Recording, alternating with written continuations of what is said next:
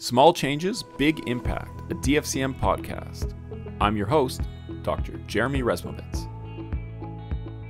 In studio today, we have Dr. Nikolina Mizdrak, a family physician at the Toronto Western Family Health Team, a physician member of the negotiating team for the OMA since 2017, and an associate professor in the Department of Family and Community Medicine at the University of Toronto.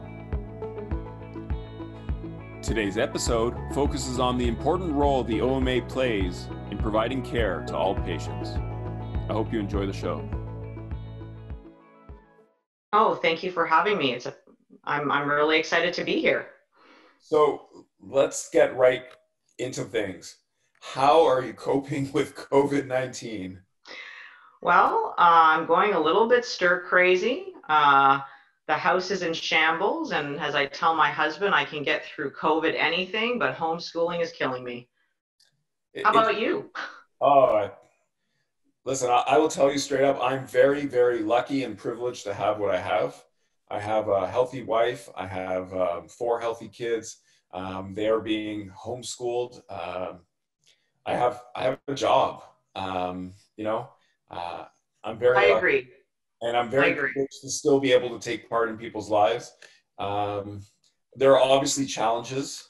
There are many challenges that we face as family doctors, as humans, as parents, as a father. Um, but I, I, have to tell you that I really uh, I'm, I'm, I'm probably one of the lucky ones. Um, but were you fired by your children for trying to teach them long division by any chance? Um, when you say fired, um, no, but uh, we've already had three out of the four kids cry this morning, and exactly, yeah. Right? We've already been outside for some of our physical activity, and we've already had an accident this morning. Yeah, my children have pretty much said, you know, mommy, I think we're going to ask daddy for help from now on. Listen, some of us have strengths, right? Um, and and the, the key is to try to use those strengths to achieve certain goals. And I don't think when you woke up that day, whatever it was, it probably wasn't this morning, but um, I don't think your goal was to do long division. Yeah. And so, and so you got to find a way to like reframe. I, I, even these kids, they just need support. And maybe you're like me, maybe you're completely on the other end of the spectrum here, but I, I really don't care about school. I've got young kids and they'll learn it. Their teachers will, will have them bring it back up at some point. They will learn it as much as they, you know, your kid, if you look at a microsystem, your kid in the system is not advancing very much and not learning very much, but nobody is. Everybody yeah, I guess. the same, right? So they'll all have to learn it. Yeah, I guess I guess my circus performance school at here at the house will have some benefits in the future, I'm sure. But are you guys doing circus? Because we are. What, Joking. It just looks like a circus. Oh, okay. We've been doing um, a ton of um, physical feats. We kind of try to come up with a new trick every day. Um, so I've got my one-year-old upside down. Um, she's been on the back of every single one of my kids. Um, we've been working on handstands and and you know, trying different circus stuff. You should see them on the couch. It's like a safety net. well, I'll see what mine can do and maybe I'll share some of that later. Okay. So tell me how, let's go professional then. Mm-hmm, how sure. Is, how is work? Work is good. It's, um, I'm one of those people who is very privileged to be able to still work. Um, our unit has divided our uh, physician in teams. Uh, we've uh, converted to mostly virtual care. We're still giving after hours care, weekend care, daily care, but our teams are divided between supervising residents, being in clinic versus being remote at home. So we have a whole system to protect the team. And I'm also in negotiations right now with the ministry. Um, so that's taken a bunch of my time as well. Um, and I also work at the COVID assessment unit at our hospital. So I think I would say I was busy, but I'm happily busy. So let's talk about some of the challenges that you're facing then in each of those three systems. I assume that the OMA um, has its own challenges. I assume that working in a COVID assessment center has its challenges. And, you know, teaching residents and being in the unit also has its challenges. W- where would you like to start? Um, I think the challenges are broad, and I think it's um, I think it cuts to all of these aspects actually.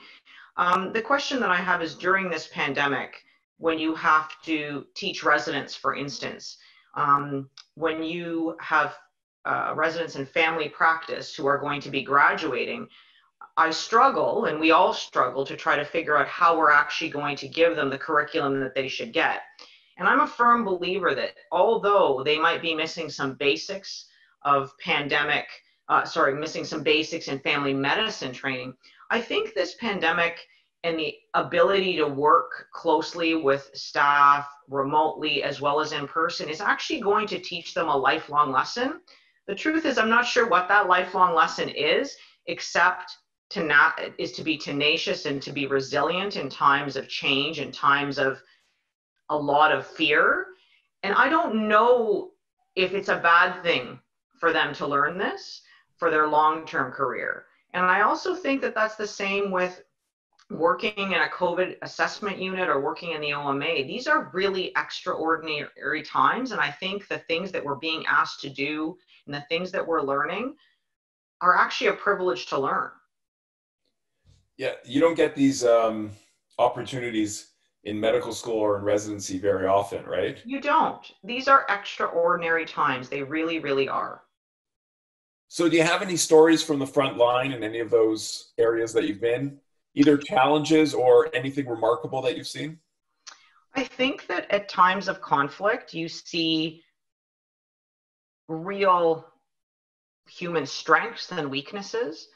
And I think that um, I am happy to say that what I've mostly seen is huge kindness and extraordinary care for patients. So I have seen teams get together, nurses, allied health professionals, physicians get together to actually give the best care that patients would be able to get in this situation.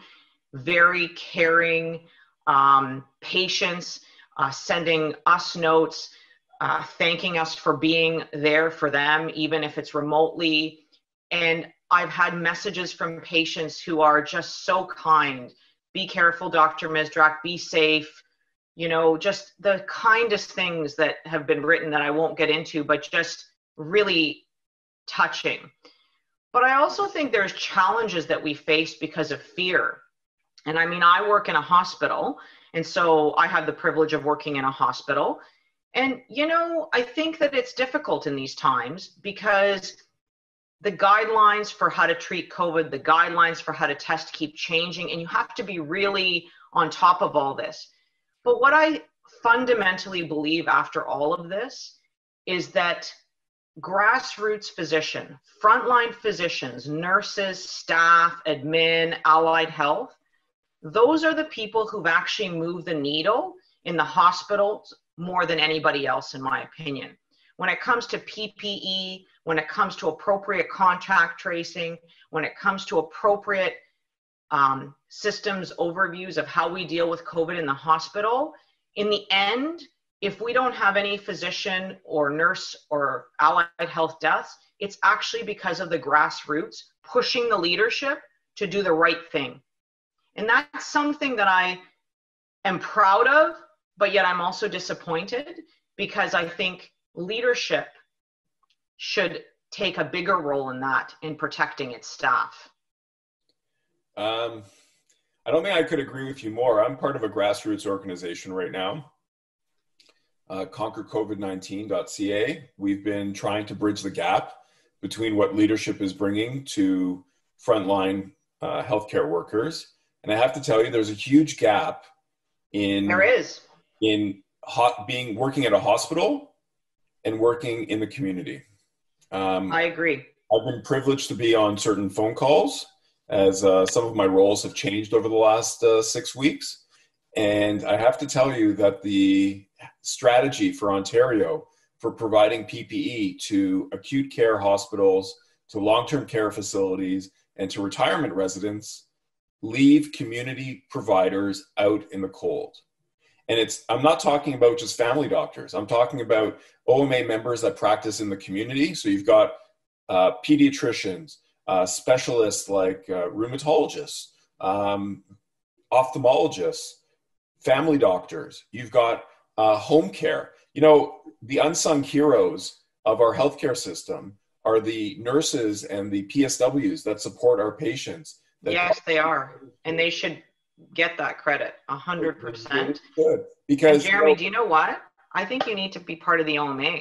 I, I feel that you're a good advocate for us, and I think you need to join the OMA and get on a district delegate role or something like that. I, I've heard that the initiation is pretty scary, so I've been afraid of going in. No, no, no. Those are all stories and fairy tales. It's so fake news. It's we can talk about that later. My point is, is that um, when you when I ask the question, how is the community going to be serviced to to our leaders, and their answer is, well, we're going to put everybody um, in contact with you, Jeremy and conquer COVID 19. That is not a good strategy.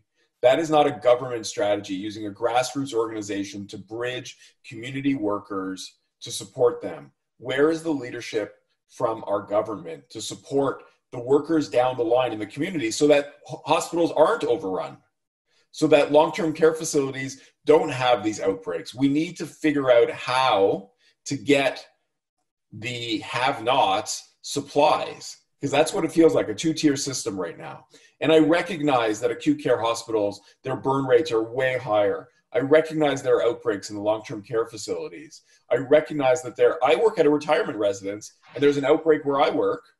And, and it, I'll tell you the biggest problem at the retirement residence, and again, this is probably true at all uh, long term care facilities, is that when you go on outbreak with even one patient, the whole place gets locked down. And so I had to I had to have conversations with two residents who happen to be over the age of 90 who want to commit suicide. The, these are the things that I, I spend time on now. No, that's terrible. Right? As, as a fallout from COVID 19 because they're isolated. Yeah. It's a torture technique. And so, my question to you is you know, you work in a hospital and you have PPE and uh, you have a role right now. Uh, but the problem is you're probably still getting paid. Um, whereas the people in the community, uh, what are we going to do as an as an you know you're a physician member on the negotiating team? What do we do with situations where we are not getting paid as community doctors who work in uh, fee for service models or blended models for, for three months? We're not getting paid for three months. I, have never heard of anything so ridiculous. If we were to tell the government, oh, by the way, um, we can't program your your automatic payments for three months. It's okay. Keep working. What would they say? Well, so you bring up um, our negotiations for phase one, two, and three of the pandemic. Um, and it's actually a really tough question what you ask because that's the reality. And these are the conversations that we have had with government actually as the OMA negotiating team. And I think that um, there is no easy way out for fee for service uh, physicians. There are some physicians, like myself, to be fair, I am a full physician. So I uh, am protected in a sense. And I feel very, very upset for the fee for service physicians, not just in family practice, but all specialties who actually will be getting um, their money way later than they should. And the issue is, is that volumes are down. We've been asked to close our clinics. Actually, we've been asked to keep our clinics open, but we can't see as many patients and we don't have enough PPE and we're not going to get paid till June for the work that we've done. So it's honestly it's not acceptable and these are the points that we've made to the government very very loudly as the OMA negotiating team. So, can you discuss more phase one, phase two, and phase three of the pandemic, what you alluded to earlier? So, phase one, um, as you all would probably know through your OMA updates, was the initiation of K codes for virtual visits. So, the idea was if patients couldn't come in, and yet, unless they, ha- sorry, unless they had to come in, if you could do a lot of your visits virtually, you could build those K codes. So they would be K080, K081, K082 for family physicians and K083 for specialists. What this meant is that they would be equivalent to your assessments, um, your basic assessments in office. You could bill these and get paid. Now, the issue with that is that when we negotiated this, um, this was something that we believed on the other side would be programmable into their system very quickly. But unfortunately, we found out through um, the media that uh, those codes were not programmable until May. So that would leave physicians not being able to bill those on the OHIP system until May for work done in March. And as you may all know, usually you're about a month behind in terms of billings, in terms of the way the billing cycle works. So that's phase one. Phase two, we started negotiating very early on in the pandemic, and this is for surge payments to physician. And what I mean by that is not actually payments to physicians, but understanding that if there was a surge in COVID in the hospitals, we would have to mobilize and reallocate people's work and um, deploy them to other aspects of the hospital that they may not actually normally work in. And what we realized is the schedule of benefits could not actually pay for those services that would be needed because of many OHIP rules. So phase two was really, really focused on how do you pay acute um, care for patients in hospital. We've got a lot of feedback that that wasn't fair and left community physicians out, and I completely understood that feedback.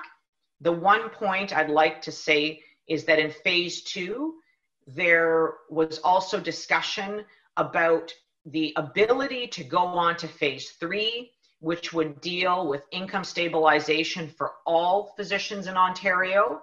And the government was very clear that they were not ready to speak about income stabilization in phase two.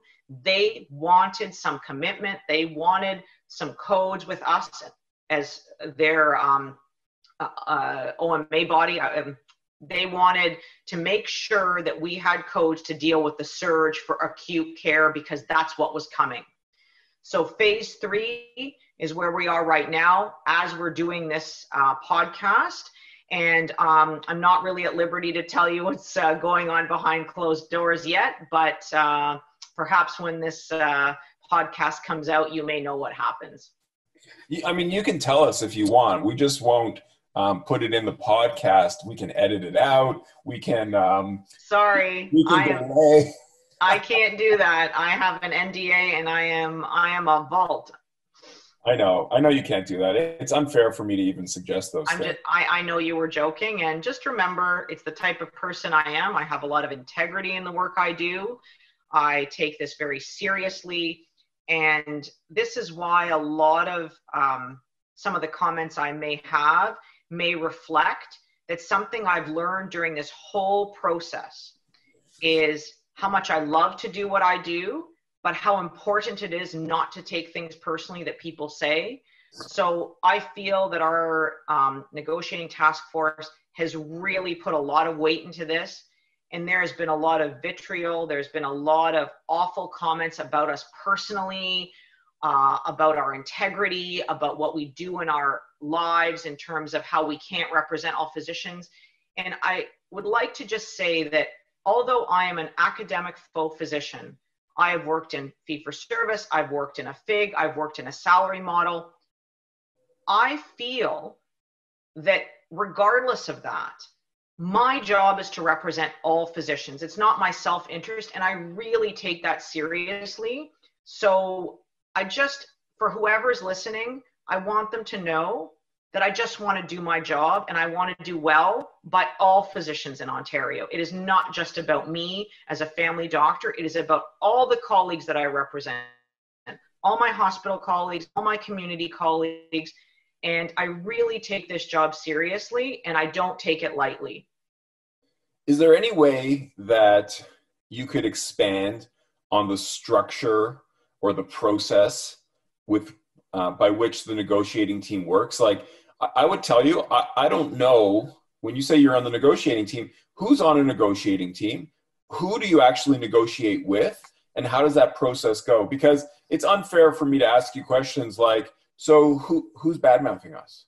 Uh, I, you know, I'm not going to ask that question, obviously. I'm going to ask, I think it would do a huge service to all OMA members to understand the process of what you actually do so that we can get behind um, our negotiating team to help support this because I think a lot of the comments that I've heard, I don't think they're they're um, born in in knowledge. I feel like sometimes there's a little bit of an ignorance or an un, an, um, an uncertainty, and so can you help? Well, maybe you know what I could do. Maybe what would help this discussion is for me to go a little bit back in time. I think it would be good for you to know why I decided to get involved in the OMA, and then I could kind of explain to you a little bit of the background and the history and how we do this, and it might be more enlightening for listeners. What do you think about that? I say go for it. Okay. So I, when I first started medicine, all I wanted to do was I wanted to teach. I wanted to teach and I wanted to survive having a family. Basically, three small kids with a wonderful husband. We were very social. We had tons of hobbies. I never thought of medical politics whatsoever. But one day in 2015, uh, a woman by the name of Dr. Silvana Bolano in Ottawa, she's a GI specialist, started a Facebook group. And it was a Facebook group saying pretty much what is going on here. The government is instituting, uh, instituting clawbacks to our fees. And I remember thinking, huh, what on earth is going on? How are we getting clawed back money for work that we've done? So I've always been very financially comfortable in terms of billing, and I've been our finance chair at our department for our family practice, uh, family practice associates for over a decade. And I had a, a resident at the same time, an old resident, contact me and ask me to lunch. And at this lunch, she said, Nick, the OMA needs you. I think you'd be the perfect voice for physicians at this time. And I thought, you know what? Why not? I love conflict. I think conflict is generative. I think that I can help. I don't think what's going on with the government and the OMA is right right now. I have a voice. I want to do something. So fast forward, I got elected as a District 11 uh, delegate, and I started uh, my role at the uh, or my career in the OMA at that point. Something very small, representing my district and zone uh, downtown Toronto. So fast forward to kind of 2015, 2016, end of the end of 2015, 2016, we have a failed TPSA. Do you remember that, Jeremy? Um, is that the contract? Yes, the contract that no one liked, and there was an overthrowing of the board, if you recall.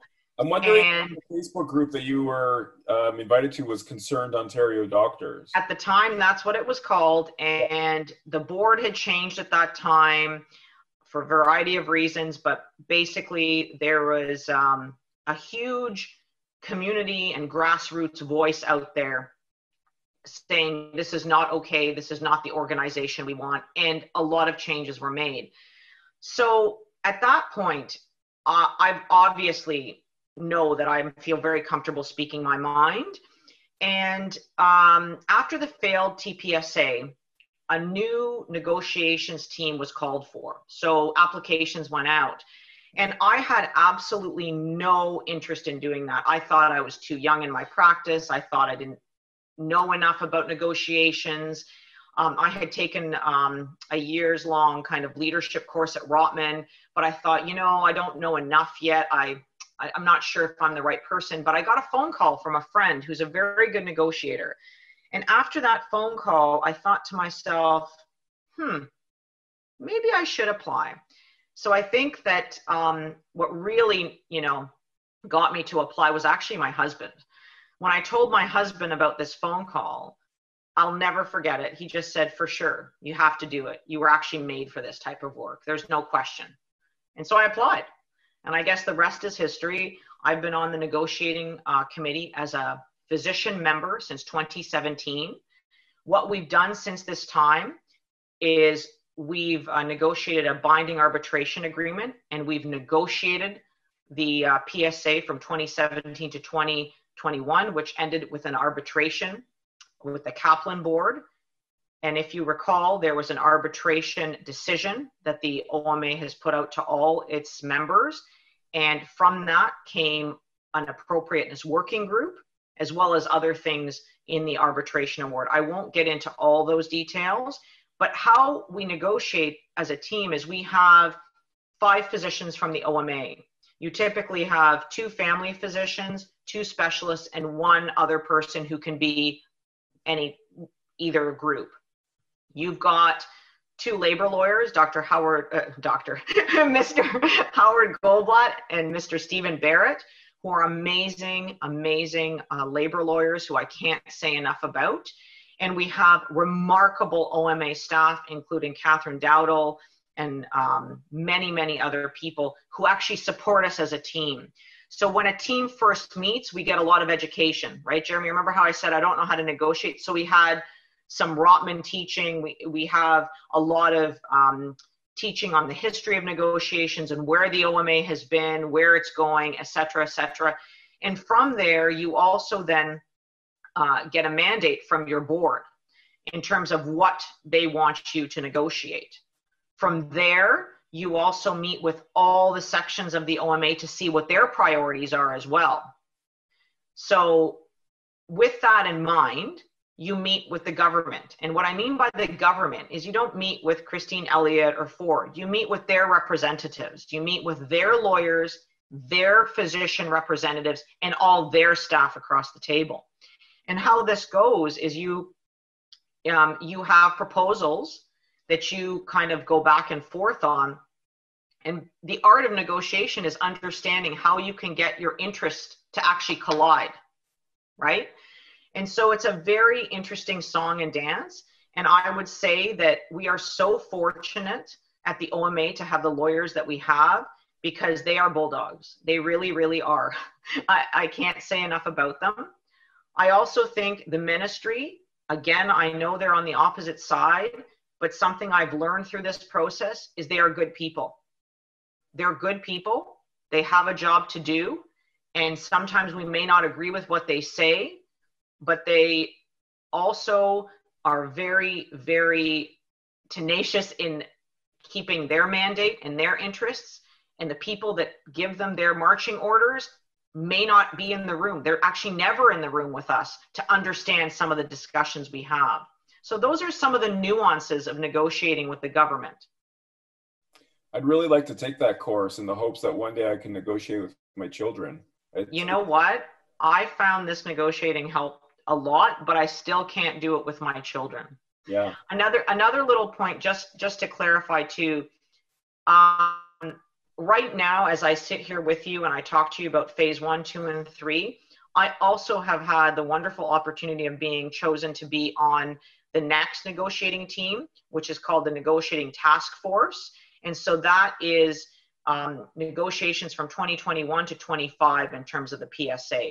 So because of the COVID-19 crisis right now, we were looped in to negotiate the phase one, two, and three, just so you understand the background on that as well. Yeah. So I think it's remarkable the work that you're doing, which honestly, I don't think a lot of our the OMA members realize happens. I don't think they understand the process. I don't think they understand the governance structure. And I don't think they understand that this is a continual battle. And it's not a battle per se like we're up against the government. I think it's exactly what you said. We need to find a way to work within the government's mission to help support the, the patients that we have.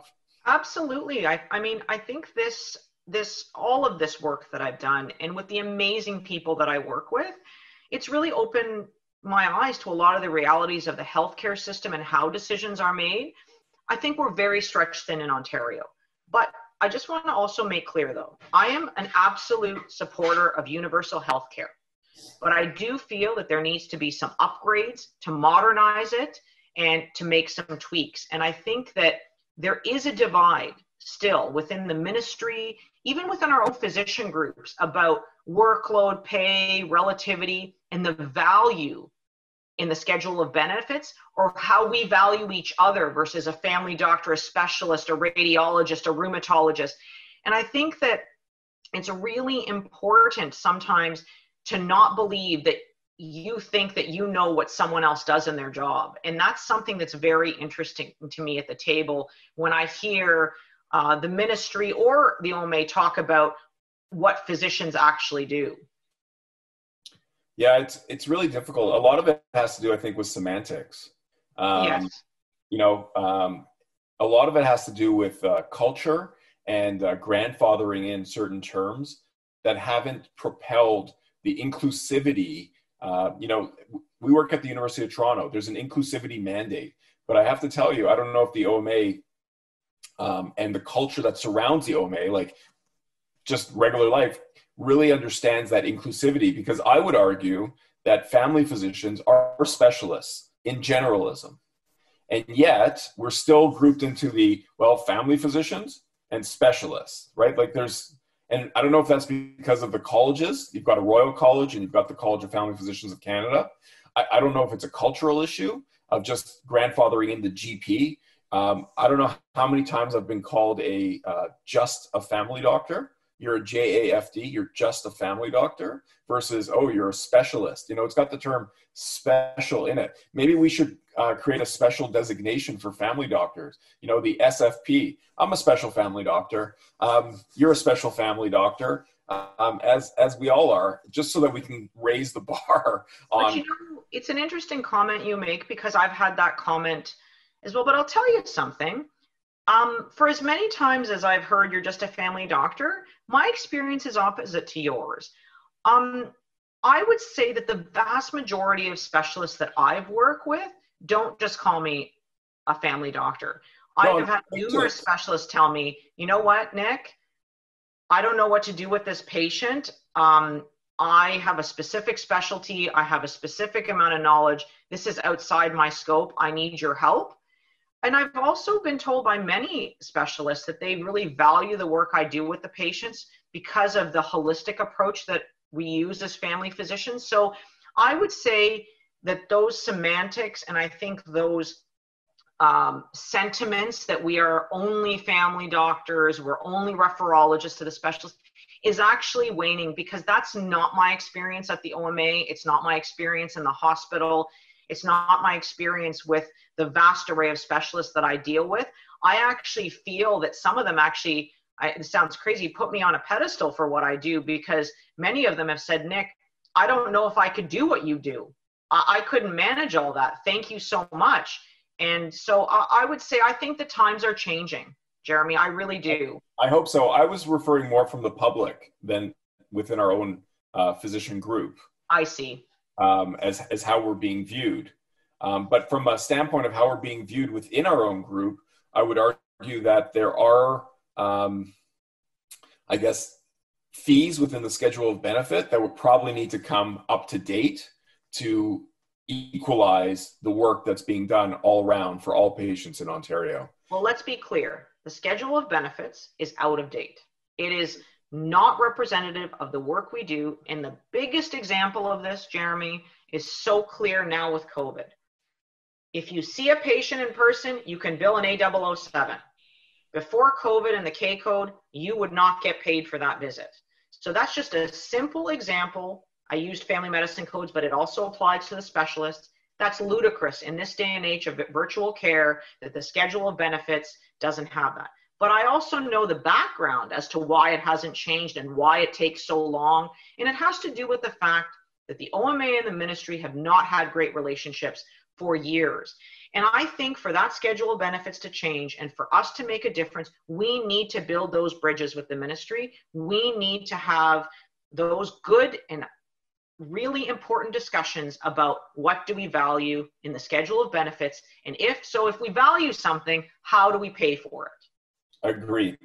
Completely agree. So my last question for you today is what do you think is going to happen to these k codes after covid-19 because if you speak and i'm just going to speak on behalf of family doctors because that's all I can speak to. And, and the friends that I've been talking to, um, although I've been, you know, I've got friends in, in pretty much every area of medicine, I'm going to speak about family doctors and tell you that a lot of family doctors are really enjoying the efficiency you know, and the uh, that's coming out of phone calls and and uh, video calls, and it's not just the efficiency. I'm not talking about, about like, um, you know, we can get this done faster. It's that not every visit needs to come into the clinic. It's that you've got, you know, taking into account um, accessibility. So patients have been able to access me way easier if they have mobility issues, if they have distance issues, um, if they have um, logistical issues. It's a phone call and it's a uh, or or um, a virtual visit um, by video that allows us to, to care for our patients and value the work that's being done. And so, do you think this is the prognosticator question. Do you think it's going to continue after COVID 19? So, for now, these codes are not permanent, but I think that I can't answer your question with any certainty. I can answer you with my own personal thoughts is that I think that this pandemic will have to change the way we deliver care on many fronts. And if it does, then we're going to have to negotiate for virtual codes at some point. So I think that you bring up an excellent point, and I think things will change. I just don't know exactly the trajectory of how it's going to change. Well, I have to be upfront with you as I always am and let you know that I feel confident having you on our negotiating team. And I, my wish is that we could somehow keep these K codes for telephone and video visits because I, my patients love it. They absolutely love it. Yeah, I agree. I, I totally agree. Um, now, Jeremy, may I take a little bit of leeway and just make a couple of other comments that I really want to mention? Would that be okay with you? Yeah, of course. So I want to say something that's really important to me during this whole time. Something is uh, gratitude, and I think that that's what keeps me grounded um, with the people around me and what I'm seeing in the hospitals and what I see in society with COVID. But I think that something that's really important for me to say is that I think a lot of the good work that I can do and a lot of the good work that you do is honestly because we have a network. I feel like the only way I could do this work is if I had a cheerleading squad. It's a bottom, a cheerleading squad that's holding me up from the bottom. So that includes my family, my husband, my kids, my amazing colleagues at the Western, my amazing OMA colleagues, my chiefs. And I want to make sure that if someone's listening to this, that they don't get the impression that I'm this awful narcissist who thinks I'm so wonderful. I love what I do, but I could not do this without my home, the support at home, or the support I have from my colleagues. It, there's no way that I could do it without them. And I think during these negotiations, I would say that my family and colleagues have stepped up to help me more than I can ever tell you. And so I want to thank them. I really want to thank them. I want to thank my husband in particular um, my kids, my family, and my amazing colleagues and friends, and especially some of my colleagues at the Toronto Western. I know you know some of them Dr. Diana Tubasi, Dr. Sarah Reed, Dr. Sarah Fleming, and Dr. Ozzy Moveni are just among the few. I couldn't do this work without them. They, they bring me up, and I think that's really important that whatever I do and whatever success I could have, it's all in the shoulders of these amazing people that help me. That's amazing. Thank you so much for sharing today. And I'm sure our listeners will be enlightened um, with, with what you've offered them today. And for the record, I don't think you're an awful narcissist, but a wonderful narcissist. Just kidding. Just kidding.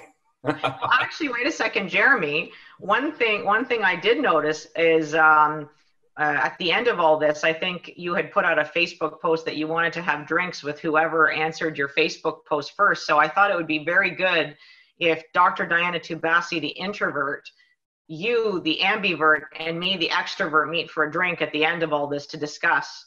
I don't think we need to wait. we can have a drink next week when it's released. Looking forward to it. Awesome. Me too. I can't okay. wait. Thank you very much. Thank you for having me. You're welcome. Have a great day. You too. This podcast was made possible through the support of the Department of Family and Community Medicine at the University of Toronto. Special thanks to Alison Mullen, Brian De Silva, and the whole podcast committee. Thanks for tuning in. See you next time.